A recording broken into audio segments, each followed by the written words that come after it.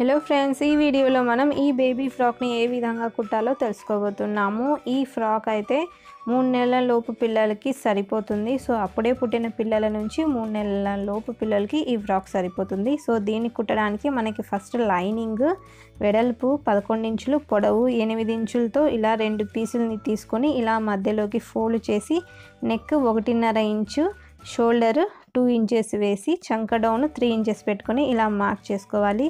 వీటిని మనం స్కేల్తో ఇలా కలుపుకుందాము. Next back neck deep two inches అలాగే front neck deep three inches పెట్టుకోవాలి. సో ఇది ఫ్రంట్ నెక్ కోసం త్రీ ఇంచెస్ మార్క్ చేసుకున్నాను. సో ఇలా స్కేల్తో వేసుకొని మనకి షేప్ కోసం కర్వ్ స్కేల్తో ఈ విధంగా round shape front side round షేపే back side round షేపే అలాగే చంక రౌండ్ తీసుకోవాలి. అలాగే షోల్డర్స్ కాలించి కిందికి ఇలా మార్క్ చేసుకొని చెస్ట్ ఫైవ్ ఇంచెస్ ఉండేలాగా మార్క్ చేసుకొని వన్ ఇంచ్ ఖర్చు కోసం వదులుకోవాలి. ఈ విధంగా కటింగ్ తీసుకుంటాము.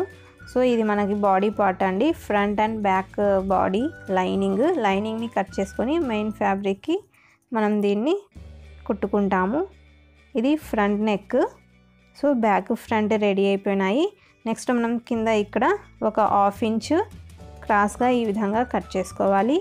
నెక్స్ట్ ఈ లైనింగ్స్కి మెయిన్ ఫ్యాబ్రిక్ని మనము సేమ్ సైజెస్తో ఒక హాఫ్ ఇంచ్ గ్యాప్తో కట్ చేసుకోవాలి. నెక్స్ట్ కింద ఫ్రిల్స్ కోసము గౌన్ కోసము మనకి వెడల్పు పదకొండు ఇంచులు పొడవు ఎనిమిది ఇంచులు తీసుకోవాలి.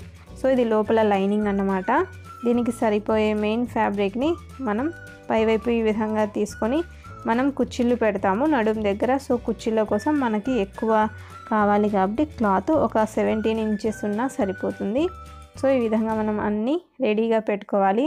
అలాగే నెక్కి హ్యాండ్స్కి స్లీవ్లెస్ అనమాట సో జస్ట్ మనం పైపింగ్ వేస్తాం కాబట్టి ఒకటిన్నర ఇంచుతో వెడల్పుండి ఇలా పట్టీలు తీసుకోవాలి. లైనింగ్కి మనం ఫస్ట్ ఇలా ఫ్రిల్స్ వేసుకొని ఈ విధంగా మెయిన్ ఫ్యాబ్రిక్ని అటాచ్ చేసుకోవాలి. కింద లైనింగ్ జంప్ ఎక్కువగా ఉన్నట్లయితే దాన్ని కట్ చేసుకొని ఇలా మార్చుకొని కుట్టేసుకుంటాము. సో ఈ విధంగా కింద పార్ట్ రెడీ అయిపోతుంది. నెక్స్ట్ పైన దాన్ని అటాచ్ చేసేటప్పుడు ఫస్ట్ మనము ఇక్కడ ఖర్చు కనిపించకుండా లైనింగ్ని ఈ విధంగా కిందికి పెట్టి అలాగే మెయిన్ ఫ్యాబ్ని ఇలా పెట్టేసి ఇలా మధ్యలో కుట్టు వేసుకుంటే మనకి కింద ఖర్చు అన్నది కనిపించదు. చూడటానికి నీట్ ఫినిషింగ్ కనిపిస్తుంది. నెక్స్ట్ మనం ఈ నెక్ రౌండ్ షోల్డర్స్ రౌండ్స్ అన్నీ కుట్టేసుకొని కట్ చేసుకుంటాము. సో ఇలా కట్ చేసుకున్న తర్వాత మనం ఈ నెక్కి అలాగే షోల్డర్స్కి మనం పైపింగ్ వేసుకోవాలి. సో చూడండి ఈ విధంగా మనం పీసులు కట్ చేసుకున్నాం కదా దాంతో పైపింగ్ వేసుకొని నెక్స్ట్ షోల్డర్స్కి ఎలాస్టిక్ కోసము ఎలాస్టిక్ ఫోర్ ఇంచెస్ అలాగే క్లాత్ పొడవు ఎయిట్ ఇంచెస్ ఉండాలి. వెడల్పు నాలుగు ఇంచులు ఉండేలాగా తీసుకొని ఈ విధంగా మనం క్లాత్ని ఇలా కింది వైపుకు రౌండ్గా ఇలా పెట్టి ఎలాస్టిక్ ఇలా లోపలికి పెట్టి ఇలా ఇక్కడ కుట్టేసుకోవాలి. అలా రెండు వైపులా కుట్టేసుకొని ఇలా మనం ఎలాస్టిక్ వేసుకుంటే మనకి గుండీలు జిప్పు వేసుకొని అవసరం లేదు. పిల్లలకి వేయడానికి కూడా చాలా ఈజీగా ఉంటుంది. లాస్ట్లో మనకి సైడ్ జాయింట్స్ చేసుకుంటే సరిపోతుంది. సో మనకి పైవైపు ఎలాస్టిక్ ఉంటుంది కాబట్టి వేయడానికి తీయడానికి ఈజీగా ఉంటుంది. ఈ గవర్న మీకు నచ్చిందని అనుకుంటున్నాను. మీరు కూడా ట్రై చేయండి చిన్నపిల్లలకి చాలా బాగా సెట్ అవుతుంది. ఈ వీడియో కనుక మీకు నచ్చితే ప్లీజ్ లైక్ చేయండి షేర్ చేయండి.